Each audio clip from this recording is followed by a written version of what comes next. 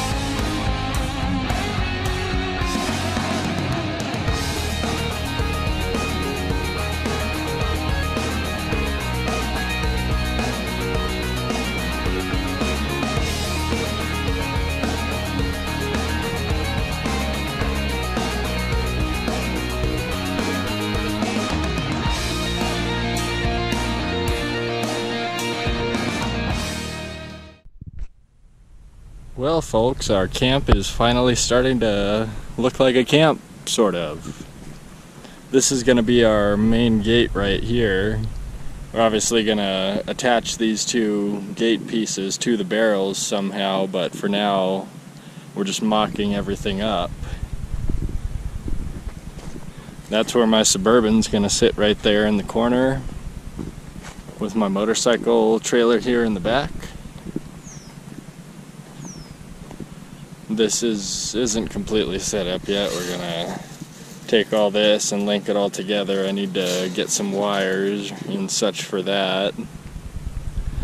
But we've got our corner set up and our back wall is pretty much set up. Tomorrow I'm gonna bring over some more pallets so that way we can get this back fence supported up a little bit. But everything is starting to come together we're gonna come back tomorrow for day two where we hopefully finish up and complete the structure and we have a, a solid wall to work with. It's all starting to come together now. So thank you guys for watching day one of the Wasteland Weekend build series.